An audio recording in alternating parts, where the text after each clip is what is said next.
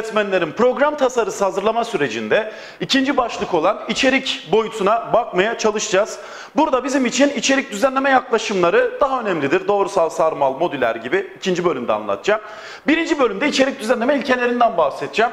Buradan soru gelebilme ihtimali biraz daha az ama ikinci bölümdeki anlattığım konulardan soru gelme ihtimali çok çok yüksek. İçerik düzenleme yaklaşımlarını bilmeniz gerekiyor ayrıntılarıyla. İçerik düzenleme ilkeleri neler? Bir kere içerik nedir? Bundan bahsedeyim. İçerik programlarda hangi soruya yanıt arıyordu? Ne öğretiyoruz sorusuna yanıt arıyordu. İçerik dediğimiz konuların düzenlenmiş bütünüdür arkadaşlar. İçerik konuların düzenlenmesi. Konuların düzenlenmiş bütünü. Olarak tanımlanıyor öğretmenlerim. Peki konuları düzenlerken, bilgileri, kavramları e, düzenlerken hangi ilkelere dikkat edeceğiz? İçerik düzenleme ilkelerine şöyle bir göz atalım arkadaşlar. Bir, ilgililik. Şöyle düşüneceğiz. Program geliştirme, ihtiyaçlar işte gruplar oluşturduk, ihtiyaçları belirledik. İhtiyaçlara göre hedefleri belirledik. Hedeflere göre içeriği düzenliyoruz. İçerik neye göre düzenleniyor? Hedeflere göre düzenleniyor. İçerik neyle ilgili olmalıdır? İçerik hedeflerle ilgili olmalıdır. Evet, ilgililiğin temel mantığı bu. İçeriğin hedeflere göre düzenlenmesi ilgililik. İçerik neyle ilgili olmalı? Hedeflerle ilgili olmalı diyeceksiniz. Gelelim ekonomiklik. Arkadaşlar ekonomiklik gereksiz bilgiye yer verme. Not alan arkadaşlarım için gereksiz bilgiye yer verilmemeli. Bir hedef davranış kazandırırken farklı hedef davranışlarda kazandırmalı. Bir hedef davranış kazandırırken farklı hedef davranışlarda kazandırılmalı olarak şöyle kısaca göstermeye çalışayım. Tekrar söylüyorum. Bir, gereksiz bilgilere yer verme. İki, bir hedef davranış kazandırırken farklı hedef davranışlarda kazandır. Uygulanabilirlik. Arkadaşlar kitaplardan elde ettiğimiz, içerikle elde ettiğimiz bilgileri günlük hayatta kullanabiliyorsak uygulanabilirlik işlevsel olmalı. Uygulanabilirlik işlevsel olmalı. Kendi kendine yeterlik. Arkadaşlar bir kitabı aldığınız zaman ek bir kitaba ihtiyaç duyurmayacak. Ee, öğrencinin veya o kitabı alan bireyin yeterince öğrenmesini sağlayacak. Ne kadar gereksiz bilgiye de yani çok gereksiz bilgiye de yer vermeyecek veya çok yüzeysel de olmayacak. Ek bir kaynağa ihtiyaç duyurmayacak arkadaşlar. Kendi kendine yeterliye ek bir kaynağa ihtiyaç duyurmamalı. Kitap kendi kendine yetmeli. Bir program geliştirme kitabı aldığınız zaman eğer soruları çözemiyorsanız, eğer o kitap başka bilgi birikimine ihtiyaç duyuruyorsa kendi kendine yetmiyordur. Bilimsel olacak yani araştırma bulgularına dayalı olacak. Kitapların, bilgilerin araştırma bulgularına dayalı olması bilimsellik. Ön koşulluk. Arkadaşlar e, her ünite e, bir üniteye başlamadan önce eski bilgilerin hatırlatılması için bir ön çalışma yapmalıdır. Yani kitabı açtığımız zaman atıyorum işte Osmanlı dönemiyle ilgili bir konuya başlayacağız. Ama o konuya başlamadan önce neler bilinmesi gerektiğini hatırlatan ön sorular varsa, ön hatırlatıcı çalışmalar varsa ön koşulluk ilkesidir. Ön bilgilerin üzerine yeni bilgileri inşa, inşa edecek şekilde düzenlenmeli. Eski bilgileri hatırlatıp daha sonra yeni konuya geçmelidir kitaplar. Yararlılık Kitaplar yararlı olacak. Kim için yararlı olacak? Bireyin ve toplumun için toplumun ihtiyaçlarını karşılayacak şekilde düzenlenecek. Birey ve toplum ihtiyacını giderecek şekilde düzenlenmelidir. Denge. Denge de şöyle arkadaşlar. Kitaba yaptığımız eklemeler veya çıkarmalar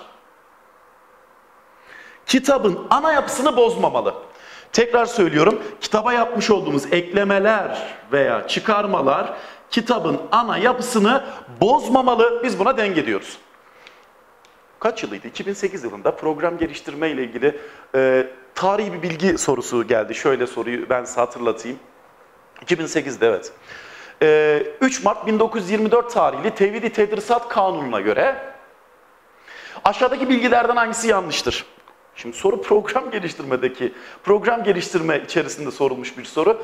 E, tarih kapsamına ait. Şimdi biz de program geliştirme kitabını güncelleyelim dedik, yeni bilgiler ekleyelim dedik. Tarih bilgileri eklemeye başladık. İkinci Mahmut'tan bu yana gelen bütün e, eğitim değişiklikleri, yasal düzenlemeleri falan eklemeye falan çalıştık. 28 sayfa çıktı arkadaşlar. Ya program geliştirme kitabı içerisinde 28 sayfa tarihi bilgi eklerseniz o kitabın neyini bozarsınız? Dengesini bozarsınız. Yani denge kapsamla alakalıdır. Yani ek, eklemeyi öyle bir yapmalısınız ki program geliştirmenin ana çatısının dışına çıkmamalı. O konuyu okuyanlar evet bu program geliştirme kitabıyla alakalı demeli. Yani kapsamla ilgili bir durumdur. Daha sonra azalttık falan yani e, yarım sayfaya kadar bir özet haline getirip koymak zorunda kalmıştık. Yoksa kitabın dengesi bozulacaktı. Dengeyi şöyle açıklayayım bir de çıkarmalar. Program geliştirme kitabı içerisinden içerik konusunu çıkaramazsınız. Program geliştirme kitabı içerisinden içerik bölümünü çıkarırsak kitabın dengesi bozulur. Ana bir ünitedir. Ana üniteyi çıkarırsan dengesi bozulur. Konuyla e, dersin ana kapsamının dışında bilgiler eklersek dengesi bozulur. Kısaca denge, kitaba yapılan ekleme veya çıkarmaların kitabın ana yapısını bozmaması diyeceğiz. Soyutlama. Arkadaşlar soyutlama, öğrenciler kitabı okuduğu zaman bir ana fikre ulaşmalı. Eğer öğrenciler bir kitabı, bir içeriği, bir bilgi okuduktan sonra bir ana fikir çıkarıyorlarsa, bir ana fikre ulaşıyorlarsa, öğrencinin ulaşabileceği bir ana fikir kitaba ekleniyorsa soyutlama ilkesi hayata geçirilmiştir. Kitabı okuyan öğrencilerin bir ana fikre ulaşacak şekilde düzenlenmesi. Vardama. Vardama kitaplar, bilgiler düzenlerken gelecekte ortaya çıkabilecek bilgi birikimini tahmin etmeli. Geleceği tahmin etmeli. Gelecek ile ilgili bilgi ve konuların yer alması diyeceğiz. Alıştırma, kitapta arkadaşlar kitabı bitirdikten sonra kitap tekrarlarla, pekiştirmelerle öğrendiğimiz bilgileri kalıcı hale getirmeli. Tekrar, tekrarlarla, pekiştirmelerle bilgiyi kalıcı hale getirmeli. Çalışma yaprakları. Ee, ücretli öğret maalesef e, öğretmenlerim, ücretli öğretmenler e, bilirler. Veya staj yaptıysanız da görmüşsünüzdür. Bu milli eğitim kitaplarının sonunda arkadaşlar bilginin tekrar ve pekiştirilmesini sağlayan e, çalışma yaprakları var. Bu alıştırma ilkesine hizmet eder. Şema. Şema nedir? Arkadaşlar öğrenciler kitabı okuyunca bir şema oluşturabilmeli. Ne zaman şema oluşturur? kitaplar, bilgiler öğrencinin düzeyine uygunsa, öğrencinin veya kitabı okuyan bireyin düzeyine, düzeyine uygun olması. Şema düzeye uygun olması. Şöyle düşünün, kitaplar öğrencinin seviyesinin çok çok üzerinde olursa, öğrencinin düzeyine uygun değil de çok üstünde olursa o kitabı okuyan öğrenciler hiçbir şema oluşturamazlar. Hiçbir şema oluşturamazlarsa şema ilkesi dikkate alınmamıştır. Şema çocuğun öğrenebileceği şekilde tasarlanmalı. Çocuğun öğrenebilmesi için de düzeyine uygun olmalı. Kaynaşık olmalı. Kaynaşıklık arkadaşlar şöyle e, dersler arası bağlantılara yer vermeli. Dikey kaynaşıklık veya yatay kaynaşıklığa yer verecek. Arkadaşlar birinci dersten sonra ikinci derse geçiyorsak dersler arası bir kaynaşıklık var birinci dersten sonra ikinci derse geçiş yapıyorsak kaynaşıklık. Biz buna dikey kaynaşıklık diyoruz. Dersin birinci bölümünü öğrendikten sonra ikinci bölümünü öğreniyorsanız, Osmanlı tarihi biri öğrendikten sonra Osmanlı tarihi ikiyi düzenlediysek kitaplar arasında kaynaşıklık var. Nasıl kaynaşıklık? Dikey. Niye dikey kaynaşıklık var? Zorunlu bir ilişki var. Osmanlı tarihi bir daha basit, iki daha karmaşık. Doğrusal anlayış biraz sonra anlatacağım. Kaynaşıklık bir de yatay kaynaşık olabilir.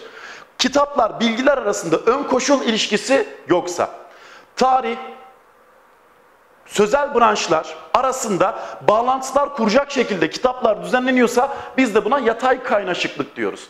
Yani kitaplar arasında bağlantılar kuruyorsak, ön koşul olmadan bilgiler düzenliyorsak yatay kaynaşıklık var diyoruz arkadaşlar. Kapsama yani kaynaşıklık ilişki demek.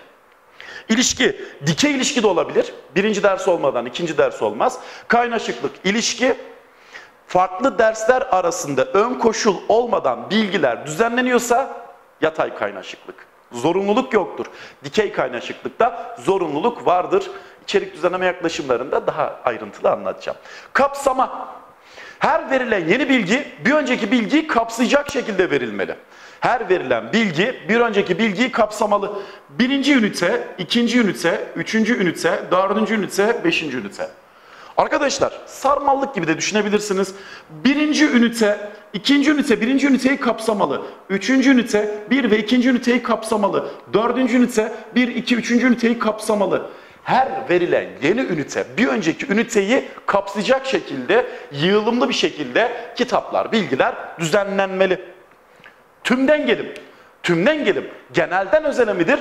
Özelden genele midir? Tümden gelim genelden özeledir genelden bilgiler genelden özele düzenleniyorsa ana kavramlardan başlayarak alt kavramlara doğru bir işleyiş söz konusuysa bizim için tümden gelim ilkesinden yararlanmıştır diyoruz bilgiler. Zaten kitaplarında tümden gelim ilkesine göre hareket etmesi gerekir. Önce genel kavramlar, genel açıklamalar, daha sonra alt kavramlar, alt açıklamalar şeklinde düzenlenmeli. Hiyerarşik kavram haritası var ya veya öğreneceksiniz. Ana kavramı başa yazıyorsun, alt kavramları ilişkilendirerek veriyoruz kitapları da tümden gelim ilkesine göre düzenlememiz gerekiyor. Genel açıklamalar, genel bilgiler, alt örnekler, alt kavramlar şeklinde düzenlemek gerekiyor. İçerik düzenleme ilkeleri bunlar. Evet öğretmenlerim önemli bir konu başlığı içerikle ilgili buradan soru bekliyorum öğretmenlerim. Buradan soru tahmin ediyorum. Doğrusal, sarmal, piramitsel, Çekirdek, modüler, konu, proje merkezli, sorgulama merkezli, piramitselle çekirdeği karşılaştırarak işlemem gerekiyor arkadaşlar. Genellikle bu ikisi de karışıyor. Ee, biz daha çok sarmaldan bahsedeceğiz. Sarmal içerik düzenleme yaklaşımını kullanıyoruz. Hepsinden bahsetmeye çalışacağım. Önemli bir konu başlığı. Buradan bir veya iki soru veya bir soruyla iki tanesini ölçtükleri yıllar da var. Ee, yani bir soruyla iki tanesini, üç tanesini ölçebiliyorlar. Ayrıntılı özellikler de var. Hepsine tek tek bakacağız. Doğrusaldan başlayalım. Ders işleniş sırama göre ifade edeyim. Doğrusal içerik düzenleme yaklaşımı. Aslında bu konuyu anlatmak biraz basit ya. Ee, biraz da zevkli. Yani böyle karmaşık bilgilerden e, oluşan bir konu başlığı değil. Doğrusal. Üniversitede olmuştur ya. Birinci dersi almadan ikinci dersi alamazsın. Ne zaman ki birinci dersi geçtin o zaman ikinci dersi alabilirsin şeklinde bir düzenleme yapıldıysa doğrusaldır. Matematik dersinde, matematik öğretiminde kullanılıyor arkadaşlar özellikle bölümlerde. Analiz 1'i almadan 2'yi, 2'yi almadan 3'ü, 3'ü almadan 4'ü alamazsın diye bir düzenleme yapıyorlar. Doğrusaldır işte. Bazen de çapraz doğrusal yapıyorlar. Biri almayan 3'ü, 2'yi almayan 4'ü alamaz şeklinde dersler arasında ardışık aşamalı, zorunlu, ön koşul bir ilişkiyle e, konular, bilgiler düzenleniyor arkadaşlar. Doğrusalın örneği bu arkadaşlar. Analiz 1 dersini almayan analiz 2'yi alamaz. Şeklinde örneği verdik. Analiz 1'i almayan analiz 2'yi alamaz. Dersler arasında nasıl bir bağlantı var? Ardışık, aşamalı, zorunlu, ön koşul. Bakın tekrar söylüyorum bazı üniversitelerde analiz bir dersini alsan da almasan da ikiyi veriyorlar. Ama doğrusalda arkadaşlar analiz biri almayan ikiyi alamaz diye düzenleme yapmak gerekiyor. Anahtar kelimelerini çıkaralım. Dersler arasında nasıl bir bağlantısı var? Aşamalı, ardışık, zorunlu, ön koşul bir ilişki söz konusu. Birinci ders olmadan ikinci ders olmaz mı? Evet. Nasıl bir kaynaşıklık var? Dikey kaynaşıklık mı var? Yatay kaynaşıklık mı var? Zorunluluk varsa, hani şeyden de bahsetmiştim hedeflerden. Uzak hedefler olmadan, genel genel hedef olmadan, özel hedef olmaz. Hedefler arasında ardışık aşamalı rütbe, yıldız ilişkisi varsa dikey ilişki vardır. Evet doğrusal içerik düzenleme yaklaşımında nasıl bir ilişki var? Dikey ilişki söz konusu. Peki zorunluluk varsa, dikey ilişki varsa hangi felsefeyle daha çok bağdaşır? Daimici, esasici, ilerlemeci, yeniden kurmacı daha çok esasici felsefeyle bağdaşır. Klasik eğitim anlayışı içerisinde yer alır. Klasik eğitim anlayışı içerisinde yer alır. Doğrusal içerik düzenleme yaklaşımında aşamalılık ilkeleri vardır. Biri olmadan diğeri olmuyor. Aşamalılık ilkeleri nelerdir arkadaşlar? Yakından uzağa. Somuttan soyuta. Basitten karmaşa. Bilinenden bilinmeyene, genelden özele doğru bir sıralama söz konusu aşamalılık ilkelerine göre bilgiler düzenlenir diye bilmek durumundasın öğretmenlerim. Aşamalık ilkelerinden yararlanıyoruz. Yakından uzağa, somuttan soyuta, basitten karmaşa, bilinenden bilinmeyene, genelden özele doğru bir sıralama söz konusu. Genelden özele zaten tümden gelim, tümden gelimden yararlanıyoruz. Doğrusalın mantığını umarım anlatabilmişizdir. Sarmala bir göz atalım. Sarmal içerik düzenleme yaklaşımı. Sarmal içerik düzenleme yaklaşımı Brunner tarafından ortaya atılmıştır ve arkadaşlar bizim Türkiye'de 2005 yılından itibaren ilerlemeci eğitim felsefesinde Türkiye'de kullandığımız içerik düzenleme yaklaşımıdır. İlerlemeci eğitim o halde çağdaş. 2005 yılından beri Türkiye'de yenilenen ilk öğretim programlarıyla birlikte birlikte kullanmaktayız.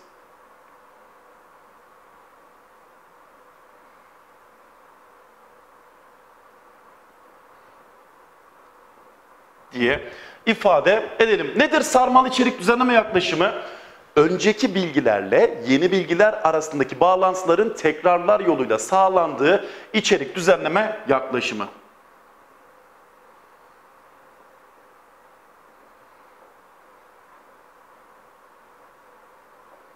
Önceki bilgilerle, önceki bilgilerle yeni bilgiler arasındaki bağlantıların neyle sağlandığı, bağlantılar neyle sağlanıyor?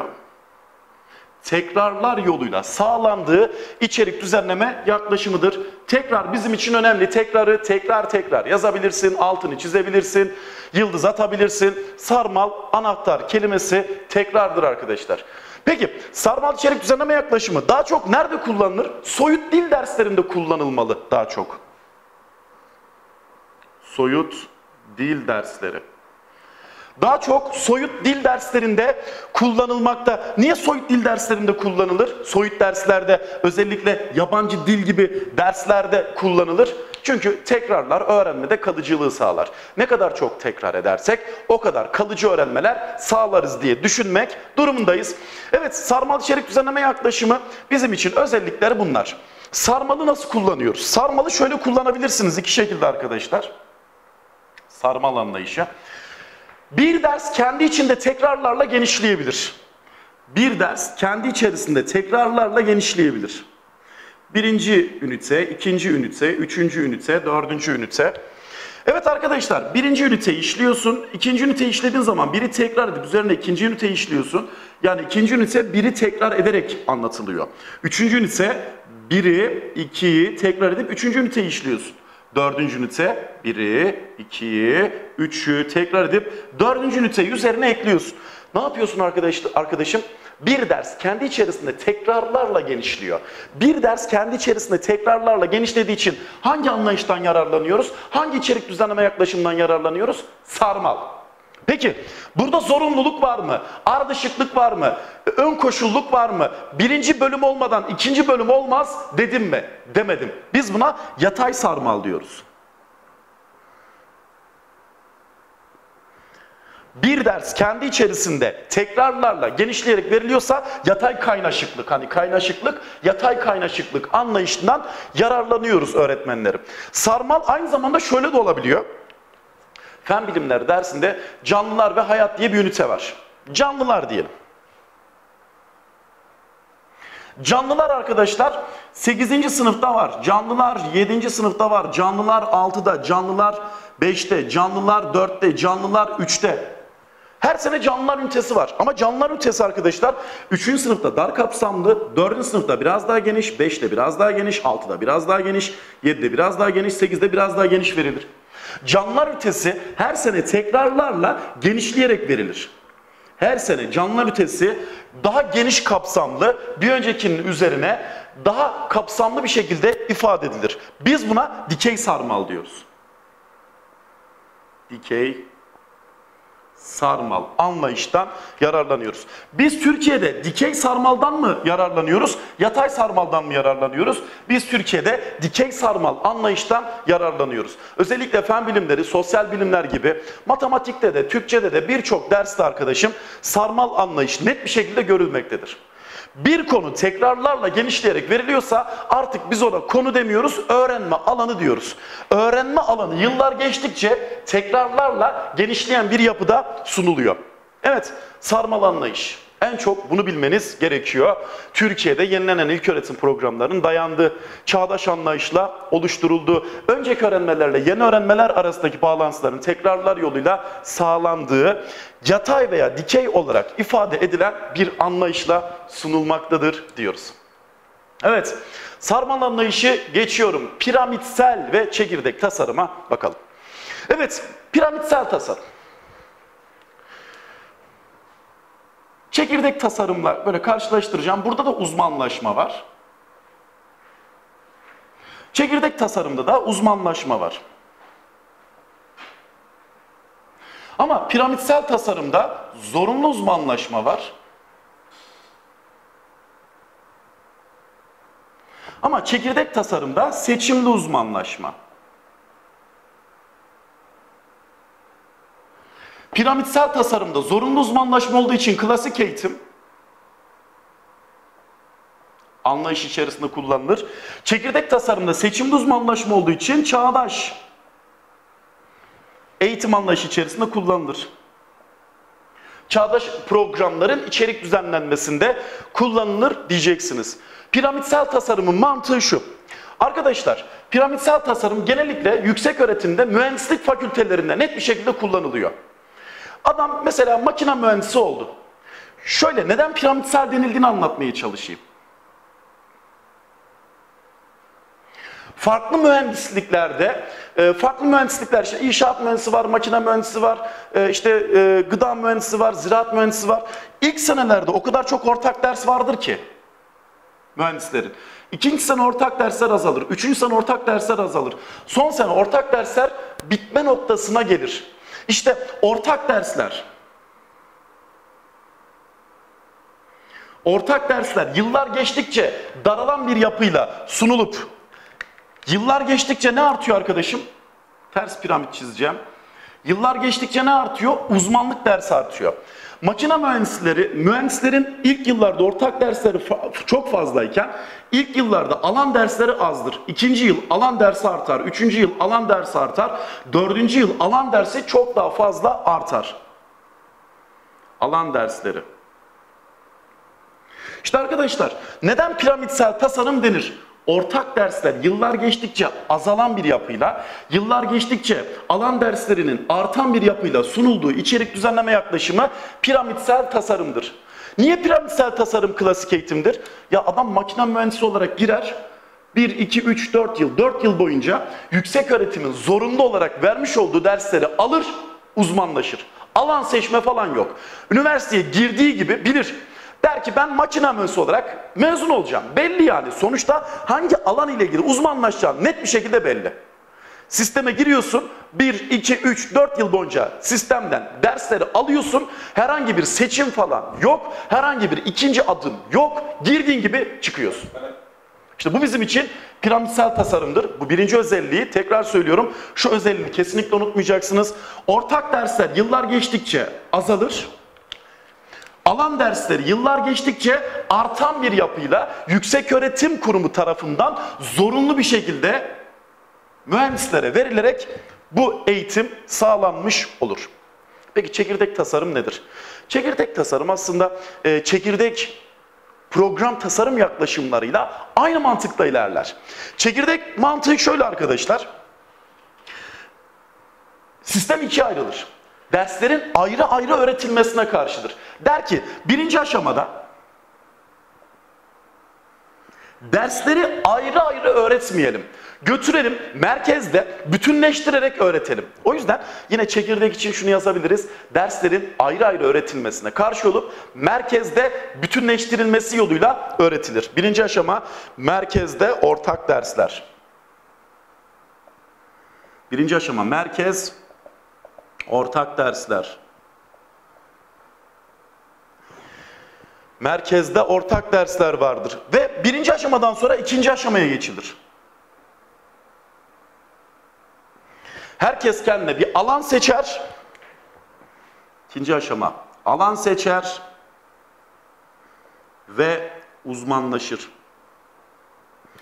Arkadaşım, hocam ben karıştırıyorum, hocam ben öğrenemiyorum diyen arkadaşlara, arkadaşlar herhangi bir alan seçmiyorsan, yavaş yavaş ortak dersler azalıp, yavaş yavaş uzmanlık dersleri artış gösteriyor. Herhangi bir alan seçemeden girdiğin bölümü tercih edip mezun oluyorsan, piramitsel tasarım, sisteme girip sistemden, sistemin herhangi bir birinci yıl, ikinci yıl, üç yıl, dört yıl, beş yıl ortak dersleri görür. Daha sonra herkes kendi bir alan seçer. O seçmiş olduğu alanda uzmanlaşırsa çekirdek tasarım. Anahtar kelimesi seç.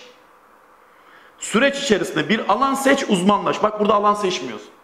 Evet arkadaşlar en güzel örneklerden bir tanesi. Yine tıp eğitimi verilebilir. Ee, program tasarım yaklaşımlarında da verdim. 6 sene boyunca bütün dersler ortak. Daha sonra tıpta uzmanlık sınavına girer. Herkes kendine bir alan seçer. Seçmiş olduğu alanda uzmanlaşırsa çekirdek içerik düzenleme yaklaşımıdır. Çünkü seçtik. Anahtar kelimesi seçim. Buradan Bilge diye bir öğrencim vardı. Hocam yapamıyorum, hocam anlamıyorum. Bak seçim kelimesi. Bir örnek daha vereyim. Ee, bizim yıl, bizim zamanımızda lise 1'de bütün dersler ortaktı. Sayısal, sözel, eşit ağırlık diye bir şey yoktu. Herkes bir sınıfa toplanır, sayısal, sözel, eşit ağırlık diye olmadan birinci aşamada bütün dersler verilirdi. Belli ortak dersleri alırdık. Lise 2'ye geçtiğimiz zaman herkes kendine bir alan seçer. Sayısal, sözel, eşit ağırlık diye bir alan seçer. O alanda ilerlerdik. Alan seçtik mi? Seçtik. Seçmiş olduğumuz alanda ilerleme sağlandı mı? İşte çekirdek tasarımdır. Şimdi şey, şimdi sistem değişti herhalde. Lise 4 seneye çıkınca bizim zamanımızda 3 seneydi. 4 seneye çıkınca ne yaptılar arkadaşlar? İlk 2 sene ortak, daha sonraki 2 sene alan seçimi sundular. Çekirdek tasarıma başka örnek verebilir miyiz? Veririz arkadaşlar. Ee, mesela bazı üniversiteler şey yapıyor. Senin bölümün yok diyor. Sen diyor önce bir geleceksin. Bir yıl boyunca benim üniversitemde bütün ortak dersleri alacaksın. Bir sene ben sana ortak dersler vereceğim. Daha sonra ikinci sene kendine bir alan seçeceksin. Ne dedim? Kendine alan seçeceksin dedi mi? Dedi. O halde çekirdek tasarımdır. Benim ziraat mühendisi bir arkadaşım vardı. 4 senelik ziraat mühendisliği fakültesinin 3 senesinde bütün dersler ortaktı. Alan malan seçmediler. 3 sene bütün herkes ortak derslere girdi. Son sene kendine bir alan seçtiler. Ziyoloji, botanik, işte su ürünleri, tarımsal makineler diye alanlar vardı. Herkes kendine bir alan seçiyordu. O seçmiş olduğu alan doğrultusunda dersleri almaya devam ettiler. Alan mı seçtiler? Alan seçtiler. Alan seçtilerse ne olur? Çekirdek. Beden eğitimi öğretmenleri de bilir. Kendilerine alan seçerler belli bir sürecin içerisinde. Umarım anlaşılmıştır. Zorunlu uzmanlaşma girdiğin gibi çıkıyorsun. Piramitsel seçimli uzmanlaşma giriyorsun ama girdiğin sistemin herhangi bir aşamasından sonra alan seçiyorsun. Ne anlattım be? Buradan da soru bekliyorum zaten çok sordular. Modüler. Modüler içerik düzenleme yaklaşımı Modülün kelime anlamı anlamlı birim, anlamlı öbek, anlamlı bir yapı halinde derslerin düzenlenmesidir. Evet arkadaşlar o halde modüler içerik düzenleme yaklaşımının özellikleri neler? Ee, konuları anlamlı e, anlamlı parçalar halinde düzenliyorsam modüler içerik düzenleme yaklaşımı olur arkadaşlar. Konuların anlamlı parçalara bölünmesi.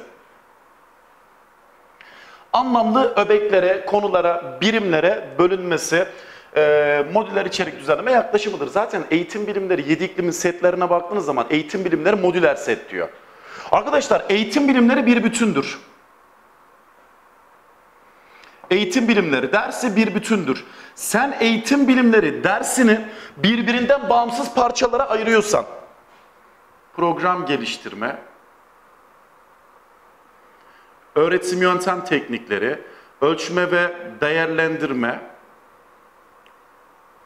sınıf yönetimi, rehberlik gibi birbirinden bağımsız parçalara bölerek öğretiyorsan modüler içerik düzenleme yaklaşımına aittir. Çağdaştır. Neden biliyor musunuz? Çağdaş anlayışa dayanır.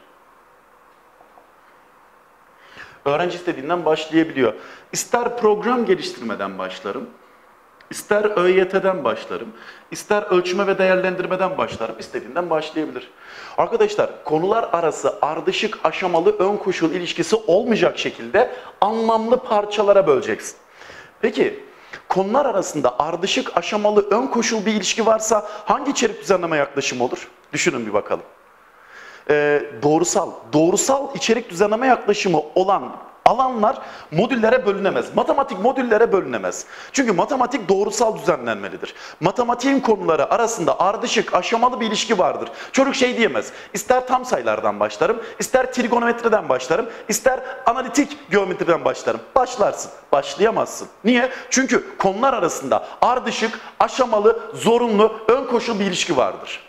O yüzden matematik konuları doğrusala uygundur ama eğitim bilimleri konuları modüllere uygun olarak düzenlenir. Şöyle düşünebilirsiniz yani modüllerin tersi doğrusal, doğrusalın tersi modüler. Modüler çağdaş anlayışa dayanır diye bilmeniz gerekiyor arkadaşlar. Evet, modülleri anlattım. Mesela modülle ilgili şöyle bir örnek verebiliriz. Müzik eğitimi modüllere bölünebilir mi? Müzik eğitimi şu açıdan. Bağlama, gitar, yan flüt, e, trompet veya bateri Neyse işte obua. Arkadaşlar müzik eğitimi birbirinden bağımsız öbeklere bölünebilir mi? Müzik öğretmenine sormak gerekiyor.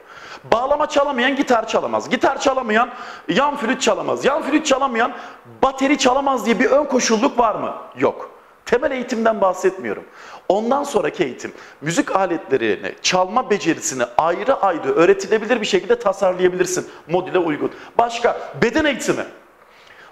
Voleybol, handball, basketbol, cirit, yüksek atlama bir, birbirinden bağımsız ayrı öbeklere konulara bölebilirsiniz arkadaşlar ve istediğinden başlayabilir. İster ciritten, ister basketboldan, ister handboldan başlayabilir. İşte modüler içerik düzenleme yaklaşımına uygundur diye düşünmeniz gerekiyor arkadaşlarım. Modüler içerik düzenleme yaklaşımı ile ilgili çok güzel sorular geliyor. Bana mesela bazen şöyle sorular soruyorum. A konusu kozmoloji. B konusu rehberlik. C konusu canlılar. D konusu temel mühendislik. Arkadaşlar bu konular hangi içerik düzenleme yaklaşımıyla düzenlenmelidir? Şimdi bana geliyorlar. Hocam kozmoloji, rehberlik, canlılar, temel mühendislik. Ya ben bu konular arasında hiçbir bağlantı kuramadım. Ve bana soru şunu sormuş. Bu konular hangi içerik düzenleme yaklaşımına uygundur? Ya arkadaşım konular arasında bir bağlantı yoksa, konular birbirinden bağımsız birimler halinde gözüküyorsa, bana zaten cevap veriyor. Hocam konular arasında hiçbir bağlantı kuramadım. Konular arasında hiçbir alaka yok. Kozmolojiyle rehberlik, rehberlikte canlılar, canlılar veya temel mühendislik konular arasında ardışık aşamalı zorunlu bir ilişki yoksa, konular birbirinden bağımsızsa, alakasız görünüyorsa hangi içerik düzenleme yaklaşımıyla düzenlenmelidir sorusunun cevabı modülerdir. Evet, modüler içerik düzenleme yaklaşımına ilişkin son bilgi. Son bilgi de şu öğretmenlerim. Mesela örnek vereceğim, bu böyle olmayabilir. Bu eğitim bilimleri dersleri içerisinde en çok değişen materyal geliştirme olsun. Materyal geliştirme dersi olsun. Şimdi Yedi iklim yayınları eğitim bilimlerini tek bir kitap halinde çıkarır. Ve materyal geliştirme her sene değişir. Diyelim ki materyal geliştirme bilimi, materyal geliştirme alanı sürekli değişiyor. Sürekli değişirse eğer ayrı parçalara bölmediyse kitabın tamamını değiştirmek zorunda. Tekrar söylüyorum eğitim bilimlerini bir kitap olarak basarsak, materyal geliştirme kısmı değişirse ve konuları böyle karışık olarak düzenlersek kitabın tamamını değiştirmek zorunda kalırız. Ama değişimin hızlı olduğu bu materyal geliştirme alanının modülünü oluşturursak, kitabı bir bütün şeklinde değil de modüler olarak 7 iklim basarsa, materyal geliştirme kısmı değişirse diğerlerini aynen basar, materyal geliştirmeyi günceller basar ve daha ekonomik hale gelir. Not, değişimin hızlı olduğu alanlar modüllere bölünmelidir. Bütünü değiştirmek zordur, parçayı değiştirmek daha kolaydır. Umarım anlatabilmişimdir. Değişimin hızlı olduğu alanlar modüllere bölünmeli. Çünkü değişimin hızlı olduğu alan modüle bölünürse o modülü yenilemek, değiştirmek daha kolay olacaktır. Bütünü değiştirmek daha zor olacaktır diye notumuzu da yazdık. Gelelim sorgulama merkezli. Sorgulama merkezli öğrenci yaşantı içerisinde sorgulanır, ilgi ve ihtiyaçlarına göre konular, bilgiler düzenlenir. Yaşantı içinde öğrenciler, bireyler sorgulanır, ilgi ve ihtiyaçlarına göre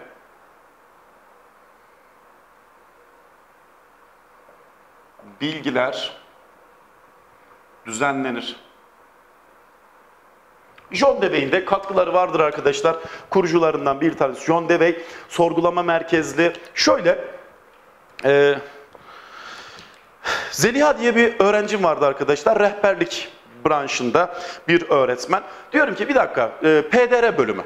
PDR bölümünde bir öğretmen atanmak istiyor. Ya atanmak istiyor da ona uygun konular düzenleyeceğiz. Hemen sorguluyoruz. Ya hocam senin kaç alman gerekiyor? Çok yüksek not alması gerekiyor. 84-85 puanın üzerinde bir puan alması gerekiyor. Umarım e, 2021-2022 yılı döneminde bu puanlar biraz daha azalır. Artım artar her branş için arkadaşlar. Neyse. Şimdi alan ortalaması çok yüksek. Alan ortalaması çok yüksek. Eğitim bilimlerinden çok yüksek yapmalı. Çünkü iyi bir puan almalı. Genel kültür, genel yetenekten çok iyi bir not almalı. Sorguluyorum. İhtiyacını belirliyorum. İhtiyacı çok yüksek bir not almak. O halde eğitim bilimlerini düzenliyorum. Eğitim bilimleri kitabını o arkadaşım için, o öğretmenim için düzenleyeceğim. Eğitim bilimleri içeriğini soru kaçıracak şekilde yüzeysel mi hazırlamalıyım? Böyle nokta atışı yüzeysel olarak mı hazırlamalıyım? Yoksa detaylı, ayrıntılı, çok yüksek bir not alacak şekilde 65 net üstü yapacak şekilde mi tasarlamalıyım diye bu sorgu sonucunda açığa çıkarıyorum. Diyorum ki eğitim bilimleri kitaplarını ayrıntılı, detaylı düzenleyeyim ki yüksek puan alabilsin. Sorgulama merkezliği böyle kısaca ifade ettim.